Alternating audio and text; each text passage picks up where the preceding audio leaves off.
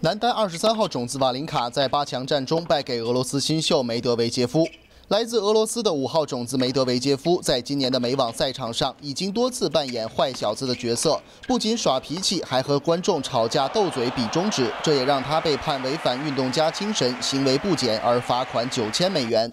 不过本场比赛，梅德韦杰夫还是顶着亚瑟阿什球场观众的嘘声和肌肉的伤痛，以三比一力克瑞士人瓦林卡，第一次打进大满贯赛事的四强。下一轮很可能遇到三号种子费德勒。女单四分之一决赛，首先登场的是五号种子斯维托利娜与十六号种子英国选手孔塔的对决，结果斯维托利娜发挥稳定，以二比零战胜孔塔。本场比赛，斯维托利娜展现出坚实的底线进攻技术，而孔塔本场却打出三十五个非受迫性失误，多出对手二十二个。结果，斯维托利娜以六比四、六比四淘汰孔塔，今年第二次闯进大满贯赛事半决赛。半决赛的对手将是小威廉姆斯和中国选手王强之间的胜者。新唐人记者韩瑞纽约报道。